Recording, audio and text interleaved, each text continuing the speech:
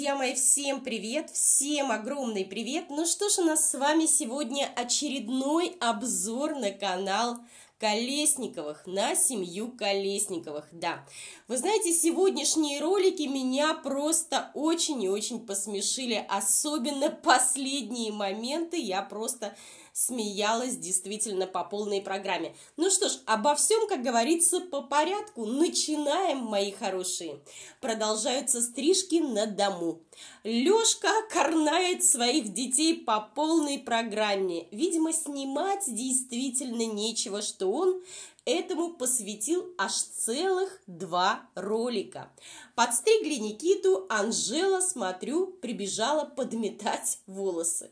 Метет волосы, сама стоит голыми ногами, ходит с метелкой и тут же ногами голыми ходит по волосам, по грязному полу, но нет слов. Далее на смену Никите пришел Максим. У него уже очень и очень обросли волосы. Макс сидит недовольный, очень расстроенный. Видимо, ему уже все это порядком надоело, и он не хочет стрижек от папы. Но, как поется в песне «Тебе некуда деваться», так и здесь. Да, Папа Лёша, как всегда, со своими глупыми шуточками. Ну, на умные шуточки там априори быть э, умных шуточек не может. Справка в школе, книг папа не читает, с умными людьми он не общается. Вот, в принципе, и несет, поэтому всякий бред одно и то же каждый раз. А давай, говорит себе, оставим так, а давай вот так, а давай вот так, изгаляется папа Лёша над Максимом. Лёш, а чего тебе слабо? Почему ты постоянно гнобишь своих детей? А самому слабо в следующий раз не в парикмахерскую ехать, стричься, а отдать себя в руки Светочки, так скажем, на растерзание Светочки. И чтобы Светочка тебя обкарнала, оболванила просто как Бобика. А все бы дети, и мы, в том числе твои зрители, сидели бы и смеялись, и стебали бы тебя по полной программе. Анжела вообще, смотрю, просто трындец. Постоянно смеется над каждым папкиным словом гогочет. Когда, видимо, тот дает команду, камера, мотор, поехали, смеемся. Вот и ей, знаете, такое ощущение фигу покажи, она тоже будет ржать всегда. И вот в репертуаре у Анжелы только слово «горшок». Горшок, горшок, под горшок она мечтала, чтобы папа подстриг Никиту, потом Максима. Видимо, Анжела все слова забыла. знаете, могу себе представить, что будет после летних каникул. С каким, так скажем, багажом знаний Анжела придет в школу. Там, наверное, будут только такие словечки «жрать», «срать», «срач», «зады», «рачком». В общем, все папины любимые выражения. Ну, а еще, конечно же, к ним обязательно примкнут выражения мамины. Ополовник, вот так вот, паре, крапива, мелиса и так далее. Да, Анжела, вы знаете, э, все советует папе и советует, чтобы тот пацанов стриг под горшок. Что за фантазии подумала я, непонятно. Далее Анжеле, видимо, надоело торчать с папой, и она перебазировалась к маме на огород. Говорит, сейчас Максим, сейчас Максима стригут, как горшок. В общем, опять как горшок. Украшаешь, говорит, как будто бы торт. Да, и тут, вы знаете, опять Анжела думает о еде. Даже грядки мамкины в парнике ей напоминают почему-то именно торт. Может быть и правда, подумала я, Анжелочка таки села на диету. Как знать, друзья мои, что думаете по этому поводу? Пишите. За Максом, смотрю, подним... а, подметает уже Настя. Да, Настя. А, и тоже босиком.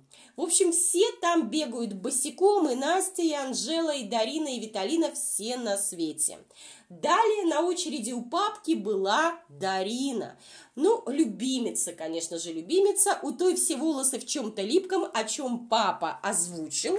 Обязательно надо было это сказать. Да, бегает Дарина, как всегда, непричесанная. Благодаря маме теперь у Светы на все есть, про все, как говорится, оправдание – Не успела ты, Света, что-то сделать. Я не успела, потому что я огородница. Дарине почему-то обрезали, как всегда, только челочку подстригли. Я не знаю, я считаю, что ей надо было сделать каре, потому что волосы у нее очень-очень тонкие и очень жидкие. Зачем ей сейчас их отращивать? Эти волосы, в принципе, по большому счету, ну, некрасиво даже визуально смотрится. Одно дело, если бы за этими волосами кто-то ухаживал, тогда да. А так мама детей вообще забила на детей по полной программе, не причесывает их, не расчесывает, не заплетает, ничего с ними не делает. В таком случае действительно Дарине подошло бы просто каре. Было бы красиво, было бы как-то более-менее ухожено. Не надо было бы каждый день делать прически. Просто ходишь хорошо, тем более сейчас лето, будет жара. Но, видимо, об этом никто даже не думает. А насчет Макса, Понятное дело, что Максу неприятно, друзья мои. Вот как бы мы ни относились, да, к Максу и так далее, но на самом деле неприятно пацану. Пацан-подросток, папка над ним смеется, сестры над ним тоже прикалываются.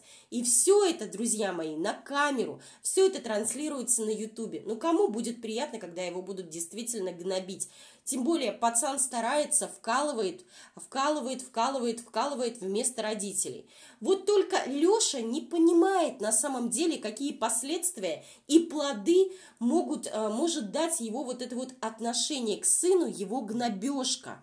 Вы знаете, я смотрю очень часто всякие криминальные каналы, в том числе и на Ютубе, мне очень нравится все это дело. И вот там как раз-таки очень много таких историй, когда родители гнобят своих собственных детей, а потом получают а, либо сами родители, когда дети что-то совершают еще, так скажем, до а, своего 18-летия или до своего, до своего совершеннолетия, да, уже в семье.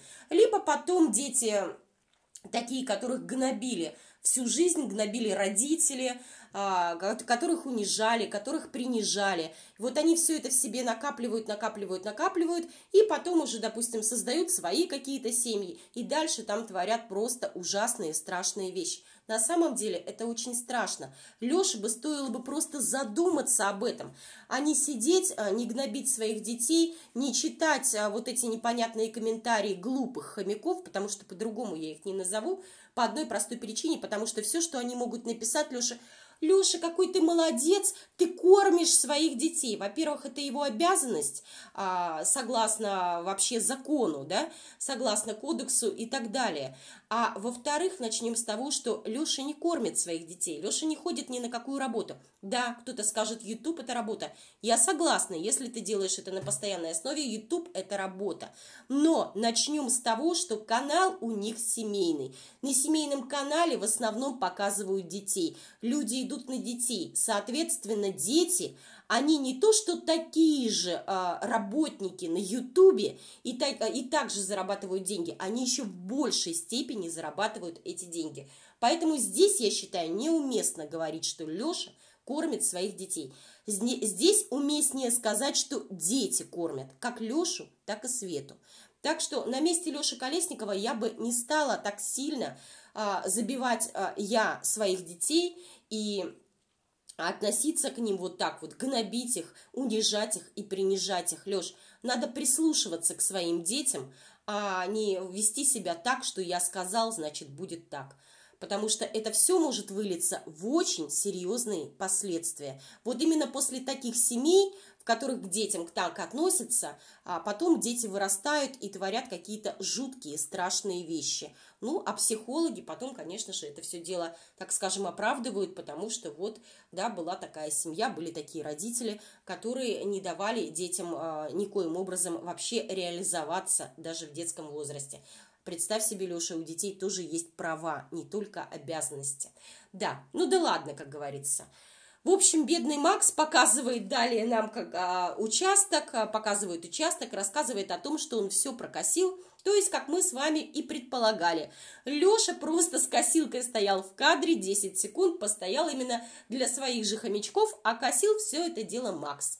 Да, все лето Максу будет некогда есть и спать, будет вкалывать за себя, как говорится, из-за того парня, да еще и за папку. Ну а дальше Света, дальше Света говорит – мы готовимся на собрание, на служение, кому как будет угодно, кому как будет удобно. Мы готовимся в церковь. Света, в какую церковь? Не гневи уже Бога. Какая у вас церковь, если а, в православной церкви вашим детям воняет, как они выражаются? И на какое служение? Так и скажите. Собрались за халявой пожрать, попить и подарки получить. Тут уж точно не про веру и не про Бога. Далее жалуется она на свою любимую дочь, на свою дочь, как бы я сказала. Вот, говорит, бегает утром и вечером, и ночью приходит к нам, мешает Светочке и Лешечке спать. Оказывается, Даринка бегает, потому что она боится мух. Сейчас вот она мух боится. Она у них постоянно чего-то боится. Они ее напугали, а теперь она у них всего боится. В доме у них и мухи, и комары, колесниковы, а москитные сетки ставить не пробовали, всякие там фумигаторы и так далее, потратить на это деньги. Нет, наверное, это, конечно, для них слишком дорого. Ну, а вообще, по сути, они живут в лесу, естественно, здесь нужны и сетки, и все на свете – про мух прикол, в доме у них вечно что-то хранится, всякие разные очистки, скорлупа от яиц и так далее. Все на свете. Свет, там уже под кроватями, сколько раз мы видели, ужи ползают, особенно под детскими кроватями у Дарины и у Виталина. А на кухне, наверное, ползают вовсю опарыши, а Света нам все вещает про мух. Уверена, кстати, друзья мои, что вот эти вот мешки с вещами, которые благополучно приехали из Ессентуков, еще так и не, разроб... Э, не разобраны, стоят, а, стоят, стоят и будут стоять еще неизвестно сколько. А по... прошел уже почти год. Но им некогда, они, в принципе, привыкли жить вот в таком сраче для них, э, как говорится, им не привыкать. Далее Анжелка как зевнула на камеру. Слава богу, ее в этот момент не показали но зев был ее а, просто впечатлительный. Мама Света спросила, чего? Ты, мол, тоже не выспалась. И это вместо того, чтобы сделать замечание своей взрослой дочке. Хотя, о чем это я говорю, друзья мои? В их присутствии чего только не было. И пердеж, и сопли, и все на свете. Так что, конечно же, зев Анжела Свету не смутил, не напугал, ну и так далее. Все и Анжела, в том числе, в общем, родители Анжела тоже жаловались на Дарину, что та не дает им спать. А, вот, вы знаете, я вот это слушаю, мне становится реально смешно. Спят целыми днями. Спят все, никто не работает, и все жалуются, что они не высыпаются. Свет, вы с Лехой дрыхнете до обеда. Если ваша любимая дочка, ваша любимица боится спать, что-то ей мешает, еще что-то, можно и с ней поспать. Можно и, как говорится, пожертвовать собой, ничего с вами не случится. Вам рано утром в 6 утра на работу не вставать, ничего. Доспите потом, Доспите потом до обеда ради ребенка вашего собственного, которого, между прочим, вы рожали осознанно. Ну, я так понимаю. Ну, да. И если только вот возьмете ее с собой в постель, если только она ночью вас не описывает, чуть-чуть. Ну а что делать? Не приучила мамочка ребенка к горшку. Вот теперь, в принципе, мучается непосредственно сам ребенок. Ну а далее, друзья мои, очередной влог. Вообще прикол. Поехали они, значит, на собрание, и, я так понимаю, на обратном пути решили заехать в парк. В кои-то веки папа решил вывести в свет свое святое семейство. Правда, были в парке они не в полном составе. Не знаешь, где были старшие дети. Неважно, это мне вообще не интересно. Пошли Света с Лешей и с Дариной и с гулять. Ну что ж, а мы с вами засекаем. Сегодня 24 мая. И интересно, когда в следующий раз они куда-нибудь выйдут именно всем семейством. Все же почти лето, а, магазины, рынки, почту и прочие вещи мы в расчет с вами брать не будем. В общем, посмотрим, сколько таких вылазок будет а, а, сделано за лето. Ну и вот пошли они гулять по парку, дошли до лошадей, подошли к жеребенку. Докопались до этого жеребенка. Дарина, вообще не понимая абсолютно ничего, взяла и подошла к жеребенку сзади и решила его похлопать по заднице, так скажем. Тот как взбрыкнул, и чуть было не дал ей копытами по лицу и по голове. Знаете, ну, э, да, там кто-то из них засмеялся, смешно, а что бы было бы на самом деле, если представить, что действительно случилось бы то, что могло бы случиться? Но почему-то родители об этом даже не подумали, когда дети подходят сзади к лошади. Почему-то вот многодетные вот эти родители Колесникова об этом не думают. Папка перил контент и даже не подбежал к своей любимице. Мамка очухалась только тогда, когда все это дело произошло. Слава богу, ничего не случилось.